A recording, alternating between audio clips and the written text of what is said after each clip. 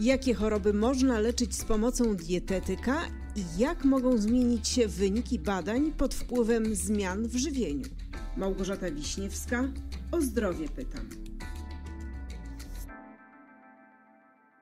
Moja rozmówczyni bardzo lubi gotować. Od zawsze interesowała się żywieniem i sposobami, które przyczyniają się do niemarnowania żywności.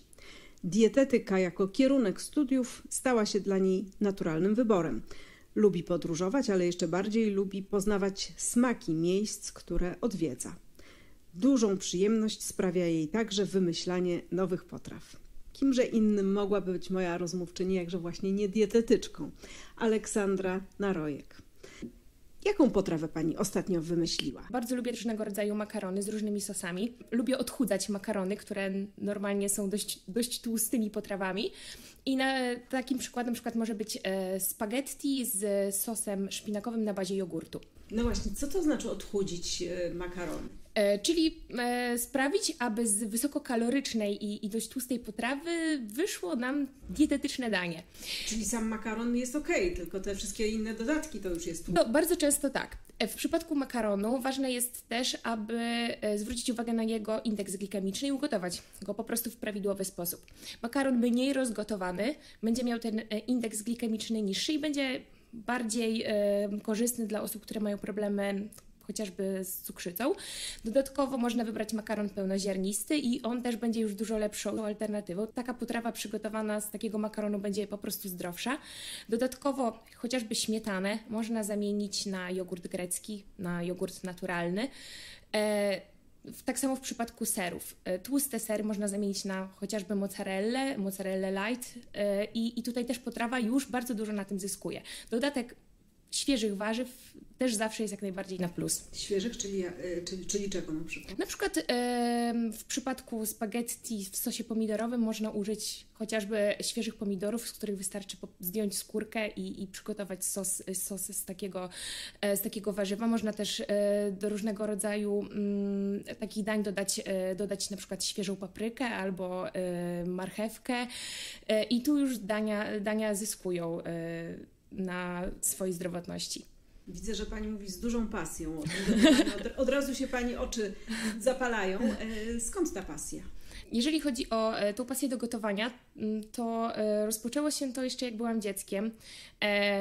Bardzo lubiłam gotować z moją mamą, tak samo z moją babcią. Zawsze się cieszyłam, kiedy, kiedy w domu powstawała jakaś wielka produkcja ciekawych dań.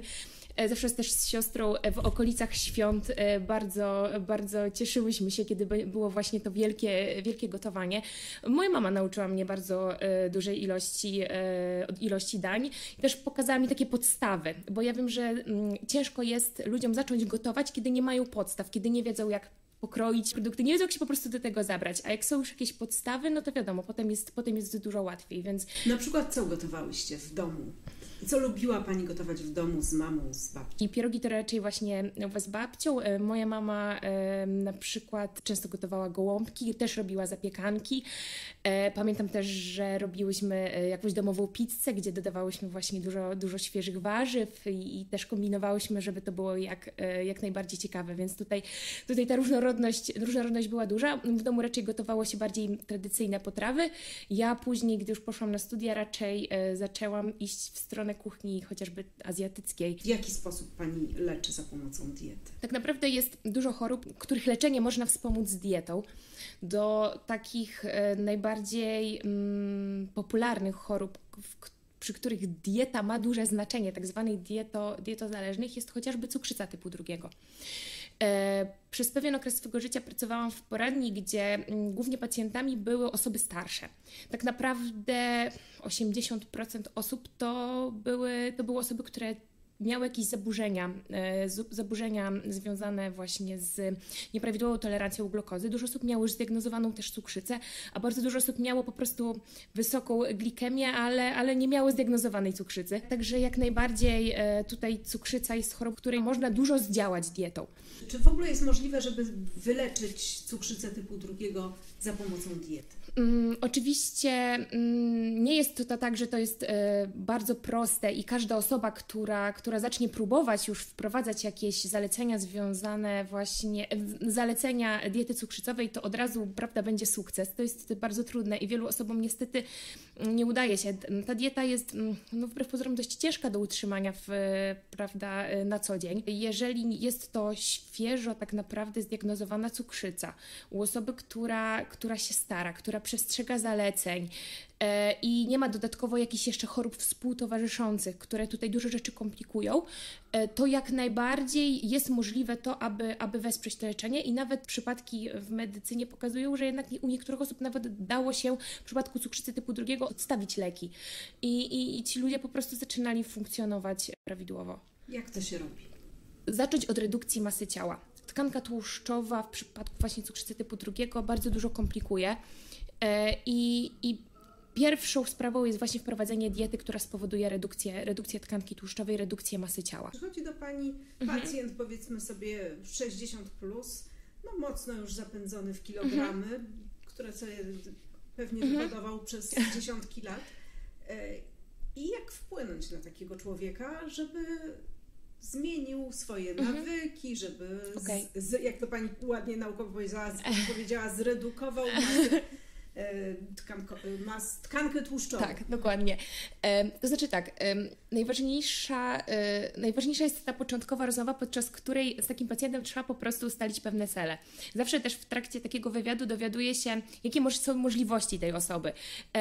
Też, też muszę się zorientować, tutaj stawiam często na swoją intuicję, w jaki jest poziom motywacji tej osoby e, i e, czy tę osobę trzeba po prostu bardziej kontrolować, czy, czy ta osoba sama będzie miała w sobie na tyle siły, aby sobie dać radę.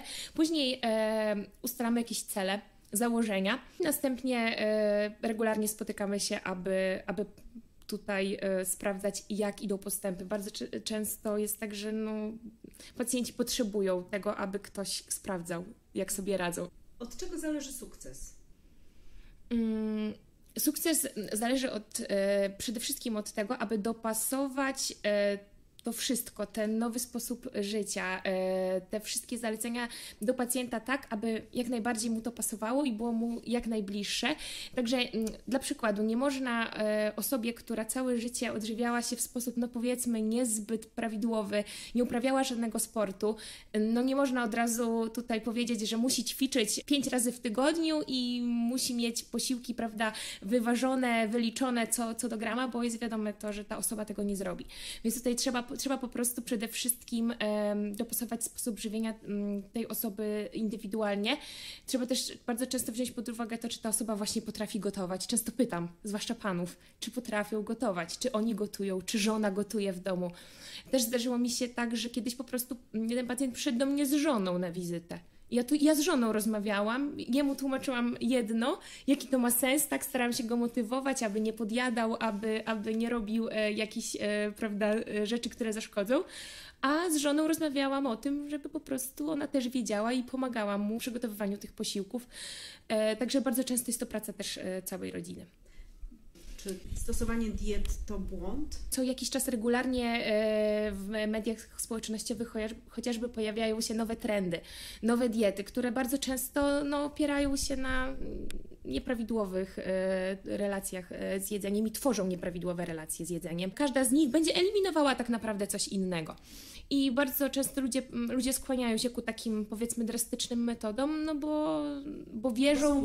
Dokładnie, bo wierzą, że to akurat to. Tak naprawdę e, przekonałam się już niejednokrotnie, że wprowadzenie takich racjonalnych zasad zdrowego żywienia, które ograniczają produkty wysoko przetworzone, czy produkty, czy fast foody, e, słodycze, e, słodkie napoje, a taka, która opiera się na właśnie produktach pełnowartościowych, e, na, naprawdę na zboża, które nie są y, wysoko przetworzone, y, czy, czy na owocach, warzywach. Y, no, że, no, że taka racjonalna dieta bardzo często jest najtrudniejsza do wykonania, bo... A jednocześnie najlepsza. Dokładnie. Uważam, że naukowcy, którzy na co dzień zajmują się badaniem i wpływem różnych składników odżywczych i żywności na, na zdrowie człowieka, nie bez powodu mają takie, a nie inne wyniki badań i uważam, że te racjonalne zasady zdrowego żywienia, które zostały opracowane i chociażby mamy piramidę e, Instytutu Żywności Żywienia. Która się zmienia. Która się zmienia, tak, zmienia się, ale ona nie zmienia się aż tak bardzo drastycznie. Tutaj nawet na przestrzeni lat nie było nigdy tak, że nie wiem, tłuszcze czy, e, czy oleje były na spodzie piramidy i były podstawą, albo, albo wręcz odwrotnie, że... No, ale mięso i produkty zbożowe tak. To znaczy... Ogólnie wcześniej w tej piramidzie było tak, że produkty zbożowe były, były to podstawą, teraz zmieniono to, że, że są, tam, są tam przeważnie tak warzywa.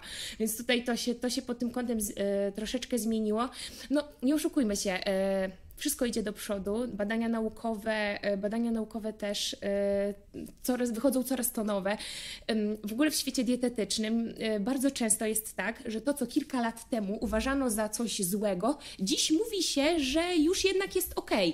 Takim klasycznym przykładem, o którym też często mówię na wizytach i rozmawiam sobie z pacjentami, jest to, że pamiętam, że jak zaczynałam studia, to na jednym z pierwszych wykładów było mówione o tym, że jajka podnoszą cholesterol, Jajka powodują Alzheimera i w ogóle e, jajka to najlepiej ograniczać do totalnego minimum. Później przez kilka lat się zmieniło, że jednak no okej, okay, te jajka jednak nie są takie złe. I tutaj e, nie ma jakichś e, szczególnych wskazań, aby prawda, wszyscy je, ograniczali je do minimum. Tak samo wieczna, odwieczna wojna między masłem a margaryną. To też jest taka klasyka. I, i tak naprawdę co wyjdzie jakieś nowe badanie naukowe, to zmieniana jest wersja. No dietetyczny świat tak niestety ma. No dobrze, a, a, a coś dietetyczny świat, ten najnowszy i ten najbardziej współczesny mówi mhm. o ograniczaniu glutenu i nabiału. To takie dwa klasyczne mhm. składniki, o których tak. dużo się mówi od paru lat i nie wiem, jak to jest teraz aktualnie. Ogólnie mówi się, że e, jeżeli chodzi o gluten i o laktozę, mówi się o tym, że e, nie ma żadnych wskazań, aby osoby, które dobrze czują się po zjedzeniu glutenu i po zjedzeniu laktozy, aby go eliminowały. Tak naprawdę, e, jeżeli ktoś odczuwa jakieś dolegliwości ze strony przewodu pokarmowego albo ma zdiagnozowaną, e, potwierdzoną nietolerancję na gluten, nietolerancję laktozy, wtedy rzeczywiście jak najbardziej jest wskazane, aby, aby to eliminować. Tak samo w przypadku glutenu, gdy ktoś ma stwierdzoną celiakię, czyli chorobę, która, która tutaj e, wymaga ograniczenia i wyeliminowania tak naprawdę glutenu e, z, z diety, to jak najbardziej wtedy, wtedy to jest konieczne człowiek, który, który nie ma żadnych, żadnych problemów zdrowotnych, no tutaj nie ma, nie ma żadnych wskazań, e, aby, aby to robić. Aby z tego rezygnował, tak? Bo Dokładnie. tak. Ludzie, którzy po wiele lat nie, przez wiele lat nie jedzą. E, jeżeli chodzi o gluten, to w ogóle jest też taka sprawa, że e, jeżeli ktoś wyeliminuje gluten i przez wiele lat już nie będzie tego glutenu jadł, to organizm też zareaguje w taki sposób, że powiedzmy prostym językiem odzwyczai się trochę od tego glutenu.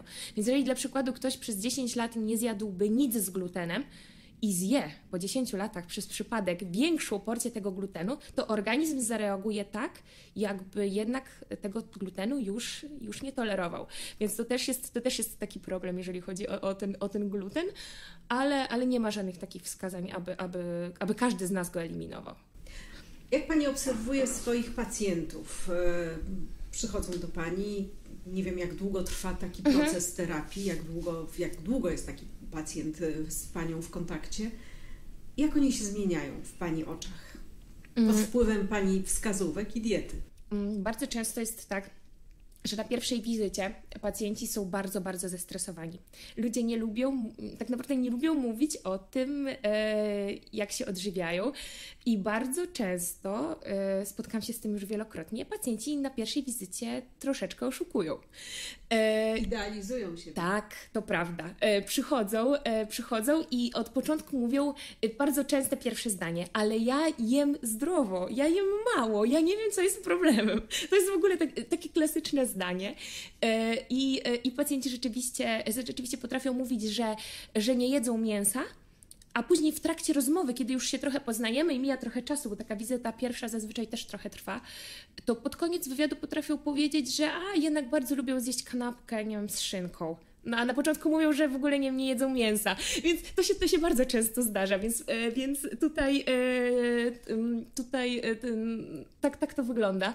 No i też problem jest oczywiście to sam proces, proces ważenia, bardzo często też jest taki stresujący dla pacjentów, no ale, ale z czasem rzeczywiście to wygląda całkiem inaczej. Pacjenci stają się tacy bardziej pewni siebie i, i jeżeli się starają, to, to ja też od razu widzę, jak wchodzą do gabinetu na wizytę kontrolną, to wiem, jak szło w tym czasie od naszego ostatniego spotkania. Są pacjentki, które nie mogą doczekać się, aż się zważą i powiedzą, jak im super szło. No są, mm, są takie osoby, które, które nadal się, prawda, y, w jakiś sposób wstydzą, no i trzeba tutaj, e, tutaj e, wtedy podejść do tego, e, no zmienić taktykę. Przyznam szczerze, że też bardzo mi cieszy, kiedy poprawiały się wyniki badań laboratoryjnych. To jest często nawet bardziej, bardziej dla mnie motywujące niż nawet jakieś tam, jakieś tam różnice w masie ciała. A może Pani podać przykład, jakich badań wyniki się mogą poprawić pod wpływem diety? Mm, chociażby mm, poziom glukozy we krwi. E, nawet jeżeli e, sama, e, sama masa ciała nie zmieniła się jakoś drastycznie, prawda, że ta osoba nie, nie, nie schudła jakoś, jakoś, jakoś naprawdę kolosalnie, to czasami ta glukoza po prostu, po prostu już jest na le, lepszym poziomie, tak już, już jest bliżej tej, tego prawidłowego wyniku. Często też wyniki TSH, tutaj praca zarczycy, często, często też, też się poprawia. Mm, chociażby jeżeli chodzi o ciśnienie tętnicze też, to akurat nie laboratoryjne oczywiście, ale też pacjenci bardzo często mierzą sobie codziennie ciśnienie, no i widzę, widzę w ich dzienniczkach, że, że te ciśnienie też wygląda, też wygląda lepiej, tak, bo coś tam się zmieniło. E, więc, więc tutaj to, to, to jest bardzo często e, bardzo, bardzo motywujące zarówno dla mnie, jak i dla tych pacjentów. A wygląd?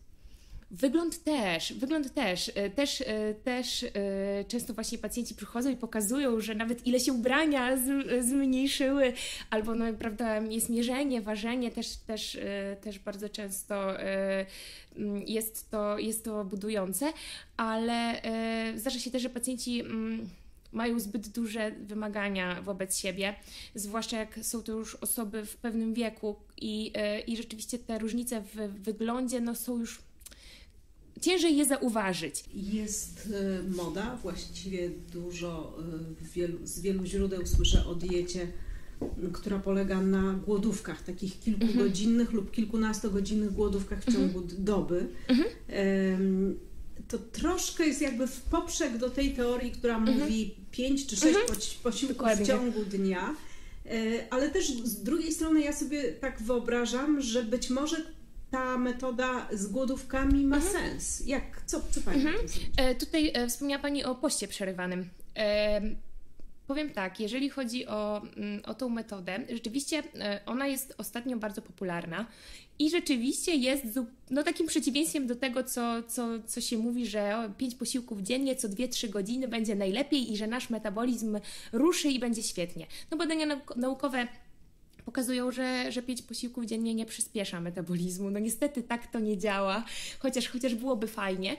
Więc e, te pięć posiłków jest raczej e, dla osób, które mm, lubią gotować, które mają też na to więcej czasu, które lubią mieć wszystko zaplanowane, też dla osób, które nie lubią mieć długich przerw, ale też dla osób, które mają problem z podjadaniem. E, bo wtedy łatwiej zapanować nad podjadaniem e, w trakcie dnia. Więc tutaj, e, tutaj też dla osób, które mają jakieś schorzenia, chociażby z przewodem pokarmowym i potrzebują, aby, aby to było równomiernie wszystko rozłożone w czasie, a nie tak, że na raz i dużo, więc tutaj, tutaj to jest bardziej, ta metoda pięciu posiłków jest dla takich osób. Też ona uczy prawidłowych nawyków żywieniowych, dlatego jest taką najczęściej polecaną. Jeżeli chodzi o ten post przerywany, moim zdaniem jest to narzędzie do kontrolowania ilości spożywanych kalorii. E, ten post zakłada, że spożywa się w e, ciągu dnia tak jakby czas spożywania e, posiłku w ciągu dnia ograniczony jest do 8, 6 lub 4 godzin w ciągu dnia, tak najczęściej, a reszta godzin w ciągu doby, no to to jest post. I wtedy, wtedy już się nie je. I e, jeżeli ktoś uważa, że ta metoda jest w porządku, ta osoba się czuje na tym, na tym dobrze, nie wymaga to od niej jakichś niesamowitych wyrzeczeń, e, a także nie traktuje tej, tej metody jako, e, jako jakiś cud, który sprawi, że prawda, tkanka tłuszczowa e, prawda, cudownie spadnie, jak najbardziej. Taki post jest rzeczywiście bardziej dla osób, które są zdrowe, które mają taki zrównoważony tryb życia i tutaj pracują czy uczą się, ale też nie pracują ciężko fizycznie. Na pewno ten post nie jest dla osób, które pracują ciężko fizycznie, nie jest dla osób, które mają, dla kobiet w ciąży na pewno też nie, dla dzieci, a także dla osób, które właśnie mają różnego rodzaju schorzenia i problemy zdrowotne. W przypadku cukrzycy rzeczywiście może to prowadzić do, do niedocukrzenia, tak? Może to spowodować to, że taka osoba zasłabnie, będzie się, się źle czuła, a, a prawda, nawet w konsekwencji będzie miała bardzo poważne problemy zdrowotne. Uważam, że taki post przerywany powinien być też pod kontrolą dietetyka, pod kontrolą e, lekarza, czy, czy tutaj po wykonaniu wszystkich odpowiednich badań. To nie jest tak, że każda osoba może sobie po prostu na takie, na takie coś pozwolić. I w przypadku cukrzycy rzeczywiście nie polecałabym e, tego. Nie bez powodu e, przy cukrzycy poleca się 5-6 posiłków w ciągu dnia, jakąś, prawda, w zależności od, od tego, jak ta glikemia wygląda, to poleca się też, prawda, jedzenie późnej kolacji. No, tutaj, tutaj rzeczywiście jest to bardziej złożone zagadnienie, jeżeli chodzi o, o cukrzycę. Jak Pani sądzi, za 10-20 lat, jak będzie wyglądał świat dietetyki? Bardzo bym chciała, aby w świecie dietetyki mm, zaszły pewne zmiany, aby przynajmniej w Polsce e, bo na świecie trochę wygląda to inaczej, e, ale w Polsce bardzo bym chciała, żeby ten zawód został w końcu uregulowany. Do tej pory tak naprawdę zawód dietetyka, tak naprawdę każda osoba, która ukończy jakiś kurs, coś, no coś smutne dla osób, które ukończyły studia, E, no, każda osoba może się nazwać, e, nazwać dietetykiem i bardzo często ludzie to wykorzystują. Nie bez powodu e, powstało, powstało dużo firm, które się tym zajmują, a tak naprawdę nie mają ku temu kompetencji, więc bardzo bym chciała, aby, aby zawód został uregulowany, aby zostały wprowadzone jasne zasady, no i, i też, aby, aby w końcu właśnie te wszystkie mity dietetyczne zostały tak ostatecznie obalone, żeby już było wiadomo zupełnie jak, jak, to, jak to wszystko wygląda i czy, czy jajka są ok, czy masło, czy margaryna tak, to są takie proste rzeczy, ale żeby, żeby w końcu wszystko zostało jasno, jasno ustalone i wierzę, że to y, nauka i, i to, to wszystko, co się dzieje i te wszystkie badania naukowe, no, że, że przez najbliższe 20 lat to wszystko no to wszystko będzie jeszcze więcej środków, pieniędzy i że, i że to wszystko zostanie, zostanie przeprowadzone. E, I mam nadzieję, że, że ludzie też będą coraz, coraz rozsądniej podchodzili do tego tematu, że ludzie zaczną zwracać uwagę na, na żywienie. I tak w ostatnich latach jest już coraz lepiej, ludzie, ludzie coraz bardziej e, przykładają uwagę zarówno do sportu, do, wiadomo, w ostatnim czasie jest to trochę utrudnione, ale, ale do żywienia, do, do właśnie do aktywności fizycznej. Także ta świadomość wzrasta i mam nadzieję, że będzie wzrastać jeszcze bardziej, zwłaszcza u, e, u, u osób starszych bo tutaj rzeczywiście są, są rzeczywiście duże, um, duże problemy z tym. Osoby starsze jest ciężko przekonać do, do, do, do zmian, ale też mam nadzieję z drugiej strony, że. Yy, młodzież, dzieci, że ta edukacja zdrowotna i żywieniowa zostanie wprowadzona już w szkołach, żeby już od, od początku było, było, e, było to jasno, jasno mówione, bo pamiętam jak ja chodziłam do szkoły, no o żywieniu mówiło się mało, tak naprawdę mówiło się prawie nic, a wyobrażam sobie, że jeszcze wcześniej to już w ogóle się nie, mówi, nie mówiło nic, więc bardzo bym chciała, aby, aby, aby ta świadomość wzrosła, bo rzeczywiście mamy, mamy problem, mamy problem tutaj e, wszyscy e, i, i otyłość niestety w Polsce jest, jest duża. Więc fajnie by było, jakby, jakby się udało coś w tym kierunku zrobić. Bardzo dziękuję za rozmowę. Pani Aleksandra Narojek, dietetyk z firmy Medicover, była moim gościem.